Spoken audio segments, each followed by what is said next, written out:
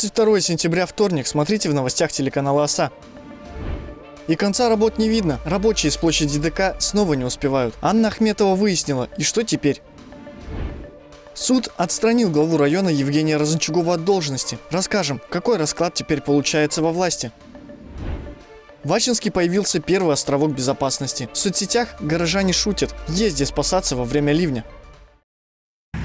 Всем здравствуйте, Анна Ахметова. Сегодня расскажу, как э, идут дела на площади перед ДК. Это уже какое-то проклятие площади э, городской, потому что сроки завершения работ вновь сдвинулись. Сегодня работает также 6 человек, они укладывают э, брусчатку и тротуарную плитку. И еще есть одна подрядная организация, которая устанавливает амфитеатр. Что подрядчик снова не успевает, стало известно сегодня, и новый срок вообще не называется. Официально мэрия на сайте сообщает, они усиливают контроль. Готовность объекта на 65%. Вместе с краевым Минстроем ищут рычаги воздействия на нерадивых строителей. В Минстрое телеканал ОСА говорят, они лишь контролируют работу городской власти, а за работу с подрядчиком отвечают ачинские чиновники. Интересный факт. Капитал строй этим летом занимался благоустройством в Шарыпове и в Красноярске. Там он сдал все в срок, говорят в Минстрое. На Ачинске, похоже, какое-то проклятие с подрядчиками. Новая тротуарная плиточка на пешеходных дорожках.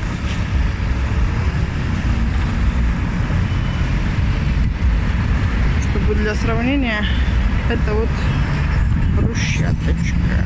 На сегодняшний день маленечко ускорились работники. По контракту красноярская фирма «Капитал Строй» должна сдать объект еще в середине августа. Но все пошло не так. Погода не та, поставщики стройматериалов с перебоями. Это были первые помехи, по словам директора фирмы Артака Варданяна, когда он еще выходил на связь с журналистами. Сейчас, как говорят в мэрии, он не отвечает и на звонки заказчика. Цена благоустройства, замечу, 24 миллиона рублей. Ежедневно за просрочку «Капитал Строй» получает штраф в 4 тысячи рублей.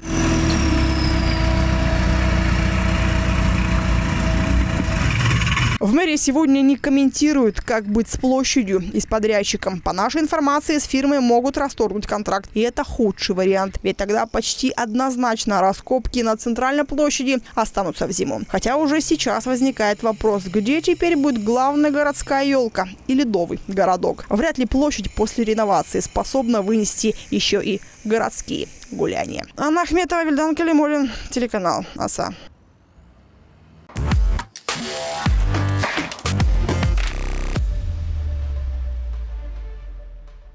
В Ачинске рабочие устанавливают первый островок безопасности. Появится он в районе Водолея по улице Спортивная. Здесь работы уже начались. А еще такие островки безопасности появятся на Свердлова, Зверева и Гагарина, Кравченко.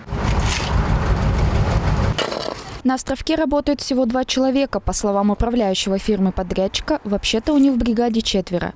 Этот заказ выиграла красноярская предпринимательница. Ранее она уже косила коноплю, устанавливала бордюры на электроопоры. Теперь взялась за островки безопасности. Этот на улице Спортивной будет самым большим. С него и начали, говорит представитель подрядчика. Но островок самый большой, с него и начали. Четыре человека работают на островках. Сдача объекта у нас до конца месяца, сентября. Как думаете, работы вообще сделаете в срок? Ну, обязательно, конечно. Успеть подрядчик обещает со всеми тремя островками безопасности. Второй островок рабочие сделают на Гагарина-Кравченко. Движение, как уверяет Антон Симонов, перекрываться не будет. Напомню, на оборудование островков из городского бюджета выделено почти полмиллиона рублей. Отметим, со слов специалиста ГИБДД, перекресток Гагарина-Лапенкова тоже требует установки островка безопасности. Если это и осуществится, то уже не в этом году. Юлия Савина, Вильдан Калимулин. Новости телеканала ОСА.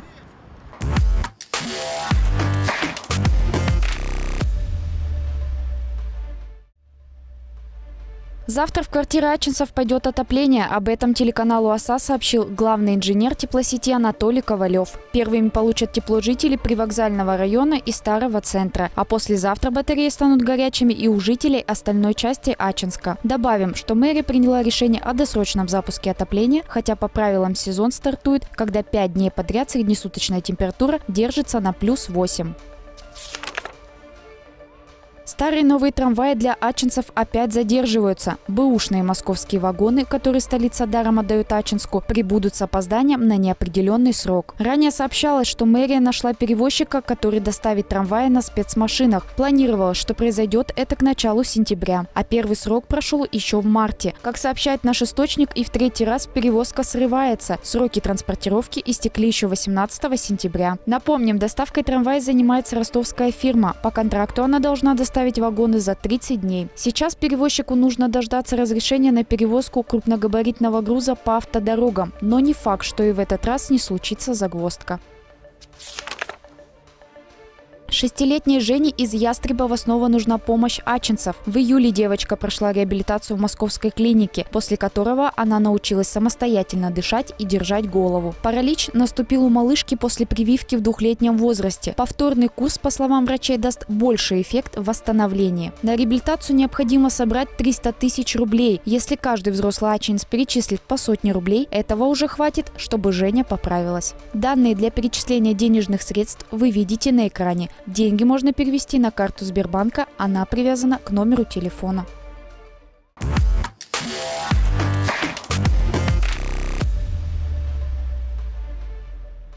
Ачинский суд отстранил от должности главу района Евгения Розанчугова. В конце прошлой недели тоже по суду его посадили под домашний арест. А еще раньше задержали на двое суток, которые он провел в ИВС. После задержания Розанчугов стал подозреваемым в деле о халатности при покупке сиротских квартир. История с жильем для сирот вообще-то тянется с 2017 года. И долгое время уголовное дело было совсем без фигурантов. Еще чуть-чуть, и оно вообще могло бы заглохнуть за сроком давности.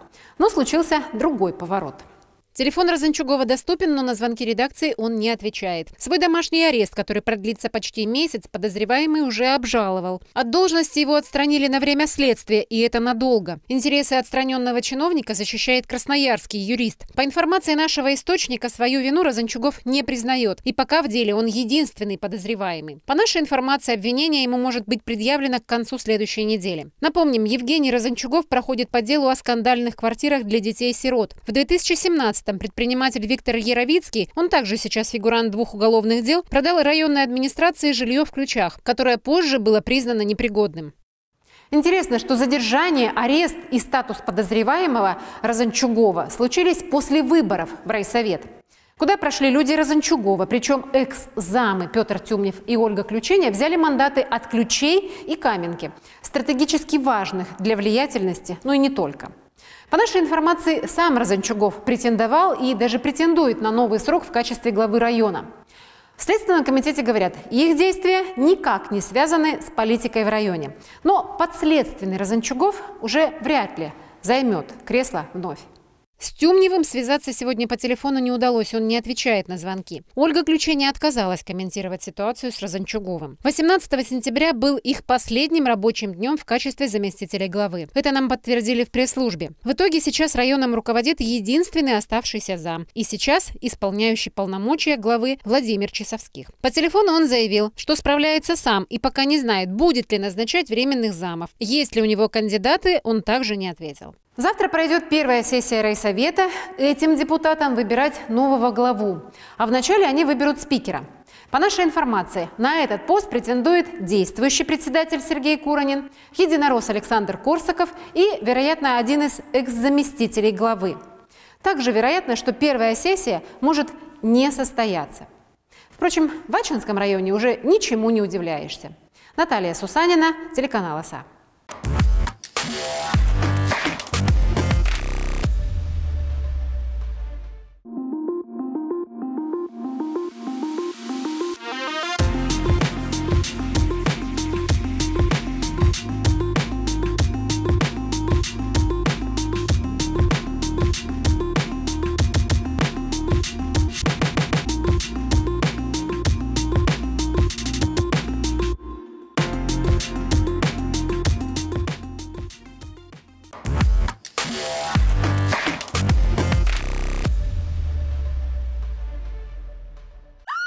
Можете справиться с пятнами на ковре? не проблема. Звоните, все сделаем. Чистка ковров номер один. Профессионально чистим ковры всех размеров и видов. Заберем грязный и привезем чистый. Используем только экологичные, гипоаллергенные и безопасные моющие средства. Выводим любые пятна. Гарантируем результат и полную сохранность изделия. Подарите ковру новую жизнь на Комсомольской 1.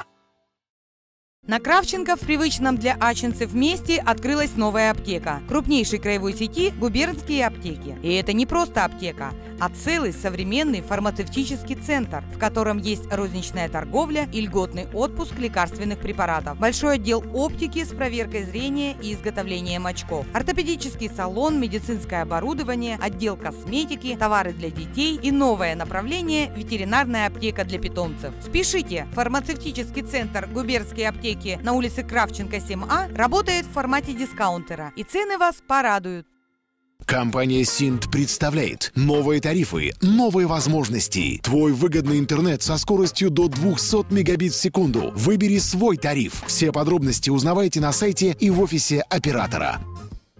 Инжиниринг, строительство, обслуживание, филиал в городе Ачинске приглашает на работу. Технолога литейного цеха, столеваров, подручных столевара, заливщиков металла, токарей, фрезеровщиков, обрубщиков, формовщиков, специалиста по нормированию, сварщиков, газорезчиков, электромонтеров. Обращаться по телефону 355 66 или по электронной почте елена.плынская собачка iso-serv.com.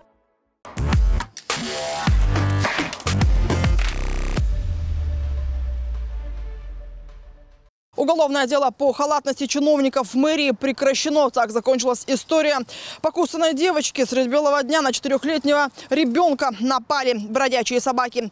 По нашей информации, Следственный комитет не установил причины следственной связи между работой чиновников, которые контролируют содержание безнадзорных псов и нападение этих псов на человека. Как-то так. Эту новость Ирина Акзамова, мама пострадавшего ребенка, узнала накануне от следователей. Говорит, шрам на лице почти затянулся, но за эти 8 месяцев дочка Ульяна так и не отошла от страха. Она не вздрагивает, она как видит собаку, она сразу бежит домой. Она закрывает дверь, держит дверь, говорит, мама, там их много. Все, вот как бы говорю, как вот отпускать? Частный сектор, да, я все прекрасно понимаю, но как бегали, так и бегают. Напомним, в конце января новости ОСА рассказали о диком случае. В старом центре собака набросилась на девочку. Отбил ее старший брат. Малышке пришлось долго лечиться и понадобилась помощь психолога. Следственный комитет возбуждал уголовное дело по халатности чиновников. Больше полугода допросов, экспертиз, изъятий документов. В итоге виноватых нет. Что касается четвероногих преступников, кинолог из приюта «Доброе сердце» на следующий день после выхода нашего сюжета отловил в этом районе трех дворняжек, две из которых были в ошейниках. Хотя не факт, что среди них был пес, напавший на ребенка. По словам администратора приюта, беспризорников стерилизовали и отдали новым хозяевам. О новых случаях жестоких нападений бродячих животных за это время неизвестно. Но собачий вопрос так и не решен. Но я не хочу оставлять это все в покое, хочу продолжить, как бы, чтобы это дело опять возобновили, подняли, что кто-то все равно должен нести за это ответственность. По словам Ирины Акзамовой, она обратилась в суд за компенсацией морального бреда. Анна Ахметова, Наталья Сусанина, Вильдан Калимолин, телеканал ОСА.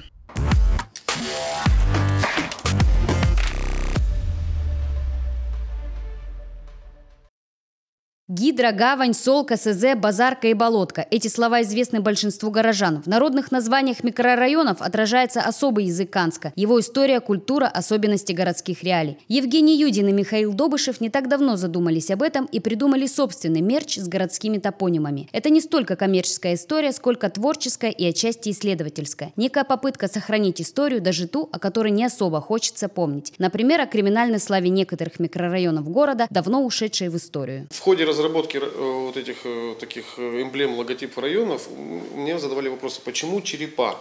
Ну, изначально я взял какие-то самые криминальные районы, и поэтому там присутствуют такие черепа в восьмиклинках, как бы такое олицетворение гоп прошлого. И в этих районах, как Гидра, Базарка, Гавань, Гавань Базарка, зайдя на этот район, можно было бы можно было просто получить. Если ты, с местными ребятами. Если ты находился из другого района. И не дай бог ты бы пришел а, в футболке базарка на гидру.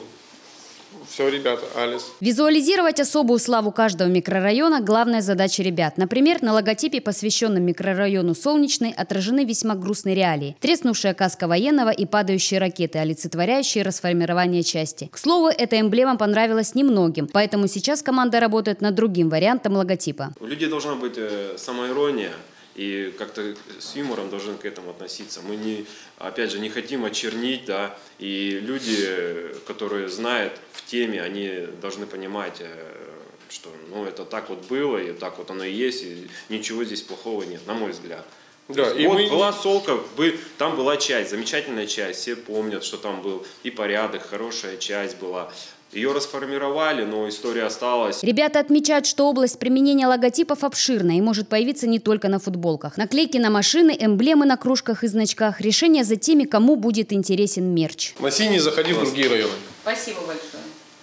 Что, живу я на базарке, собственно говоря. А, поэтому, думаю, буду носить эту футболку с удовольствием. Думается, этот проект можно назвать уникальным. Народные названия городских микрорайонов стали героями не скучных словарей, а забавных логотипов на футболках. Ой, что вы такие правдолюбы и режете правду матку. И вас интересно смотреть без всяких фильтров. Ой, телеканал «Оса» мы вообще смотрим всегда. Мне нравится очень Ахметова, как ведет передачу. Молодец. Да и вообще у вас вся компания молодцы.